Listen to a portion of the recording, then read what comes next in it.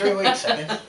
You- Would you recommend the program to other people? Oh, yeah, absolutely. Oh, yes. Excellent. Yeah, so, so it pretty much evolved step by step and you knew what to expect and Yep. what to do and you weren't misled or. Oh, no, no, no, no, absolutely. Everything was right, right to the T. I mean, even right down to what Chris told us. I mean, he's, he's, he pinpointed our credit file, said that two things, clear them up and we'll be golden, and that's what we did.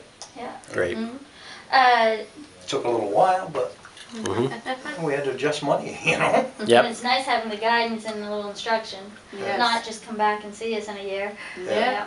Uh, and you guys made it happen. I mean, we can only, we can only guide you. You can but- point us in the direction, Yeah. you know. Uh, what advice would you give somebody currently thinking about going into MaineHomeOwnership.com program? Oh, ag- Oh, absolutely. excellent. Absolutely. You got- Excellent. Yeah, You guys are great. Yeah. You guys did a great job. Awesome. Uh, Really pleased.